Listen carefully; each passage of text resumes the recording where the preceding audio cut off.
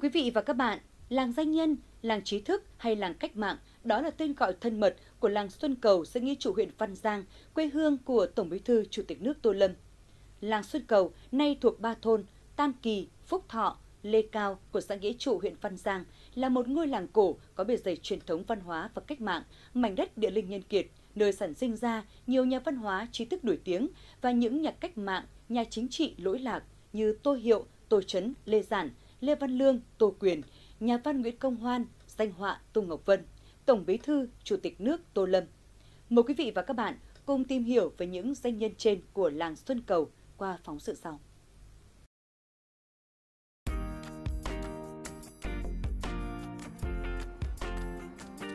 Làng Xuân Cầu trước đây có tên là Hoa Kiều hay Huê Cầu, vốn là vùng đất cửa ngõ phía đông của kinh thành Thăng Long xưa, đã đi vào câu ca ai lên đồng tỉnh Huê Cầu, đồng tỉnh bán thuốc, Huê Cầu nhuộm thâm. Làng Huê Cầu án ngữ cả đường thủy và đường bộ Lai Kinh của Hào Kiệt Trấn Đông và là đường đi chấn giữ vùng Hải Đông. Làng Xuân Cầu có tên trong dư địa chí năm 1435 của Nguyễn Trãi. Trong suốt chiều dài lịch sử, vùng đất này luôn sản sinh ra những danh nhân, những nhà khoa bảng cho đất nước. Xuân Cầu có đến 12 người thi đỗ đại khoa trong các triều đại phong kiến, nhất là dòng họ Nguyễn và họ Tô. Thuộc dòng họ Nguyễn có cụ Nguyễn Hằng, đỗ tiến sĩ năm 1586, Nguyễn Tính, đỗ tiến sĩ năm 1640, Nguyễn Hành, đỗ tiến sĩ năm 1688, Nguyễn Gia Cát, đỗ tiến sĩ năm 1787. Đối với dòng họ Tô, các cụ Tô Trân, đỗ tiến sĩ năm 1826, Tô Đăng, đỗ cử nhân năm 1867, Tô Huân đỗ phó bảng năm 1868, Tô Ngọc Huyền đỗ cử nhân năm 1825. Tô Ngọc Nữ đỗ cử nhân năm 1850. Đầu thế kỷ 20, làng Xuân Cầu xuất hiện nhà văn lớn Nguyễn Công Hoan với nhiều tác phẩm văn học có giá trị, đóng góp vào khoa tàng văn học Việt Nam. Nguyễn Công Hoan sinh ngày 6 tháng 3 năm 1903 tại làng Xuân Cầu, nhà văn Nguyễn Công Hoan từng giữ cương vị Chủ tịch Hội Nhà văn Việt Nam khóa đầu tiên. Ông là nhà văn tiêu biểu của văn học hiện thực phê phán Việt Nam, một bậc thầy truyện ngắn trong văn học Việt Nam hiện đại. Ông đã để lại một di sản nghệ thuật với hơn 200 truyện ngắn, gần 30 truyện dài và nhiều tiểu luận văn học, trong đó có những tác phẩm tiêu biểu như Bước đường cùng, Kép tư bền, Người ngựa, Ngựa người, Lá ngọc cành vàng, Đầu thế kỷ 20, làng Xuân Cầu còn có một họa sĩ nổi tiếng lúc bấy giờ, đó là họa sĩ Tô Ngọc Vân, họa sĩ bậc thầy trong làng hội họa nước ta. Danh họa Tô Ngọc Vân có bút danh là Tô Tử, Ái Mỹ. Ông sinh ngày 15 tháng 2 năm 1906 tại làng Xuân Cầu. Tô Ngọc Vân học trung học 3 năm tại trường Bưởi, một ngôi trường nổi tiếng thời đó, nay là trường Trung học phổ thông Chu Văn An, Hà Nội. Năm 1926, ông thi đỗ vào trường Cao đẳng Mỹ thuật Đông Dương thuộc thế hệ sinh viên đầu tiên của trường. Ông tốt nghiệp khóa 2 năm 1931. Sau khi ra trường, Tô Ngọc Vân đi vẽ ở nhiều nơi và dạy học ở trường Trung học Phnom Penh, Campuchia từ năm 1935 đến năm 1939. Sau đó, ông về dạy ở trường Cao đẳng Mỹ thuật Đông Dương tới năm 1945, góp phần đào tạo nên nhiều họa sĩ xuất sắc như Nguyễn Tư Nghiêm, Bùi Xuân Phái, Dương Bích Liên, Kim Đồng, vân vân. Thời điểm trước cách mạng tháng 8, Tô Ngọc Vân là một trong những họa sĩ người Việt hiếm hoi từng vẽ tem ngay trong thời Pháp thuộc. Đặc biệt, danh họa Tô Ngọc Vân là người có công đầu tiên trong việc sử dụng chất liệu sơn dầu vào trong các tác phẩm hội họa ở Việt Nam mà trước đó chất liệu này chỉ được biết đến qua tranh vẽ của họa sĩ phương Tây. Đề tài về phụ nữ chiếm phần lớn trong những sáng tác trước cách mạng tháng 8 của họa sĩ Tô Ngọc Vân. Đặc biệt, vẻ đẹp của người phụ nữ thị thành được họa sĩ khắc họa thành công qua hàng chục bức tranh sơn dầu, tiêu biểu là hai tác phẩm nổi tiếng Thiếu nữ bên hoa huệ và Hai thiếu nữ và em bé. Đặc biệt, họa sĩ Tô Ngọc Vân là một trong những nghệ sĩ khắc họa thành công nhất chân dung Chủ tịch Hồ Chí Minh ở những thời điểm lịch sử quan trọng. Nổi tiếng nhất là tác phẩm tranh khắc gỗ Hồ Chủ tịch làm việc tại Bắc Bộ Phủ, sáng tác năm 1946. Họa sĩ Tô Ngọc Vân được nhà nước truy tặng liệt sĩ và được truy tặng Giải thưởng Hồ Chí Minh về văn học nghệ thuật đợt 1 năm 1996, được chính phủ Pháp tặng giải thưởng Cành Cọ Vàng.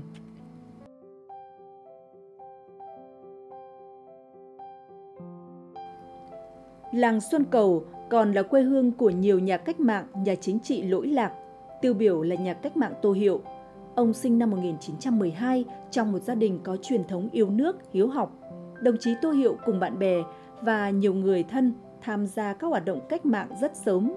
Ngay từ năm 1926, khi 14 tuổi là học sinh trường tỉnh Hải Dương, Tô Hiệu đã hăng hái tham gia các phong trào yêu nước, tham gia bãi khóa để tang cụ Phan Chu Trinh, đòi trả tự do cho cụ Phan Bội Châu đến các phong trào yêu nước của các chí sĩ Hà Nội. Năm 1930, sau khi cuộc khởi nghĩa yên bái của Việt Nam Quốc dân Đảng thất bại, thực dân Pháp khủng bố, đàn áp, dã man tất cả các phong trào yêu nước, Tô Hiệu và anh trai là Tô Chấn, một lãnh đạo của Việt Nam Quốc dân Đảng lúc ấy đã bị thực dân Pháp bắt. Tô Hiệu lúc ấy mới 18 tuổi, đã bị chúng kết án 4 năm tù giam và bị đẩy đi côn đảo năm 1934, Tô Hiệu mãn hạn tù trở về, nhưng bị thực dân Pháp quản thúc tại làng quê Xuân Cầu. Năm 1936, vượt qua sự bao vây, phong tỏa của địch, Tô Hiệu đã cùng các đồng chí Nguyễn Văn Cử, Hoàng Quốc Việt, Trường Trinh và nhiều đồng chí khác xây dựng lại hệ thống tổ chức đảng và chỉ đạo phong trào đấu tranh của quần chúng đòi dân sinh, dân chủ ở Hà Nội và vùng phụ cận. Tháng 2 năm 1939, được Trung ương phân công về phụ trách Liên khu B trực tiếp làm bí thư thành ủy Hải Phòng. Ngày 1 tháng 12 năm 1939, tại Hải Phòng, đồng chí Tô Hiệu bị địch bắt và bị đẩy đi nhà tù ở Sơn La. Trong nhà tù thực dân, nhà cách mạng Tô Hiệu không những không nhụt chí chiến đấu mà còn tích cực vận động phong trào lập ra tri bộ. Bằng trí tuệ, sự quả cảm và kiên trì của mình, nhà cách mạng Tô Hiệu đã biến nhà tù địa ngục của thực dân thành trường học cộng sản vĩ đại, đào tạo những chiến sĩ cộng sản kiên cường, cán bộ cốt cán cho Đảng. Ngày 7 tháng 3 năm 1944, nhà cách mạng Tô Hiệu hy sinh tại nhà tù Sơn La. Cây đào ở nhà tù Sơn La được mang tên Tô Hiệu vào năm 1945 khi cách mạng đã thành công để tượng trưng cho tinh thần đấu tranh cách mạng của một chiến sĩ kiên cường. Ngày nay, tại thôn Tam Kỳ, xã Nghĩa Trụ, có tượng đài Tô Hiệu và khu lưu niệm liệt sĩ Tô Hiệu đã được xếp hạng di tích cấp quốc gia.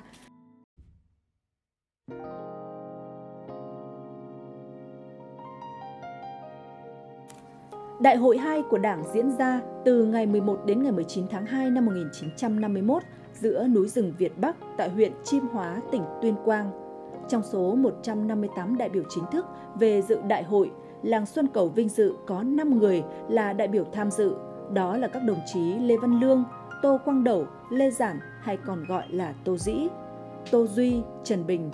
Một làng quê mà có đến 5 người là đại biểu cùng dự một kỳ đại hội là sự kiện hiếm có trong lịch sử đảng ta. Tại đại hội, đồng chí Lê Văn Lương được Trung ương bầu làm ủy viên dự khuyết Bộ Chính trị. Đồng chí Lê Văn Lương, tên thật là Nguyễn Công Miều, sinh ngày 28 tháng 3 năm 1912 tại làng Xuân Cầu. Ông sinh trưởng trong một gia đình nho học, là em ruột của nhà văn Nguyễn Công Hoan. Tiếp thu truyền thống yêu nước của quê hương dân tộc ngay từ khi còn nhỏ, đồng chí Lê Văn Lương đã giác ngộ cách mạng và tham gia các hoạt động yêu nước. Gần 15 năm bị thực dân Pháp giam cầm tra tấn dã man tại nhà tù Côn Đảo, song đồng chí Lê Văn Lương luôn giữ vững khí tiết kiên trung, nhất mực trung thành với sự nghiệp cách mạng của Đảng và dân tộc.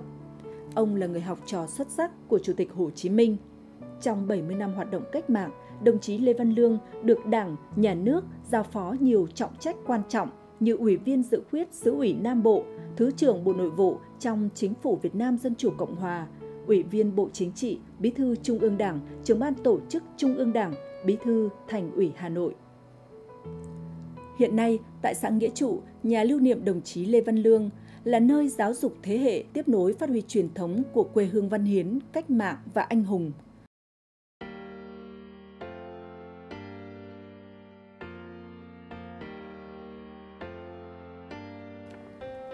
Sau này, làng Xuân Cầu còn sản sinh ra nhiều người ưu tú, những văn nghệ sĩ, trí thức thành công trong các lĩnh vực công tác. Tiêu biểu như Đại tá Tô Quyền, người cha của Tổng bí thư Chủ tịch nước Tô Lâm. Đại tá Tô Quyền được nhà nước phong tặng anh hùng lực lượng vũ trang nhân dân thời kỳ chống Mỹ. Ông nguyên là Phó ban An ninh Tây Ninh, nguyên Giám đốc Công an tỉnh Hải Hưng, nguyên Cục trưởng các cục, Cảnh sát Giao thông, Cảnh sát Quản lý trại giam, hiện ở Xuân Cầu, một trường học mang tên đồng chí Tô Quyền. Về lĩnh vực kiến trúc, làng Xuân Cầu có kiến trúc sư nổi tiếng Nguyễn Thế Khải, người trực tiếp thiết kế gần 100 công trình trên khắp cả nước, trong đó có 5 công trình được tặng giải thưởng kiến trúc quốc gia, gồm quy hoạch chi tiết khu du lịch núi Quyết, Bến Thủy, thành phố Vinh, tỉnh Nghệ An, quy hoạch chi tiết công viên Văn Lang ở trung tâm thành phố Việt Trì, Phú Thọ, tượng đài thống nhất thành phố Hồ Chí Minh, quy hoạch chi tiết khu du lịch văn hóa Hàm Rồng, Thanh Hóa, Đài Liệt sĩ, huyện Khói Châu, tỉnh Hưng Yên. Ông được giới kiến trúc mệnh danh là người tạc hồn dân tộc trên công trình kiến trúc. Phát huy truyền thống khoa bảng và cách mạng, anh hùng của mảnh đất địa linh nhân kiệt thời kỳ đổi mới, hội nhập ngày nay – người dân làng Xuân Cầu nay là thôn Tam Kỳ, xã Nghĩa Trụ, tự hào là quê hương của Tổng Bí thư, Chủ tịch nước Tô Lâm, một đại tướng công an nhân dân, một nhà lãnh đạo xuất sắc có nhiều đóng góp cho đất nước, được cán bộ, đảng viên và nhân dân tin yêu. Tại hội nghị Ban chấp hành Trung ương Đảng khóa 13 diễn ra vào sáng ngày 3 tháng 8 tại thủ đô Hà Nội, Ban chấp hành Trung ương suy tôn thống nhất rất cao với số phiếu tuyệt đối 100%, bầu đồng chí Tô Lâm, Ủy viên Bộ Chính trị, Chủ tịch nước Cộng hòa xã hội chủ nghĩa Việt Nam, giữ chức Tổng Bí thư Ban chấp hành Trung ương Đảng Cộng sản Việt Nam khóa 13. Đây là niềm vinh dự, tự hào của nhân dân tỉnh Hưng Yên nói chung và người dân làng Xuân Cầu nói riêng.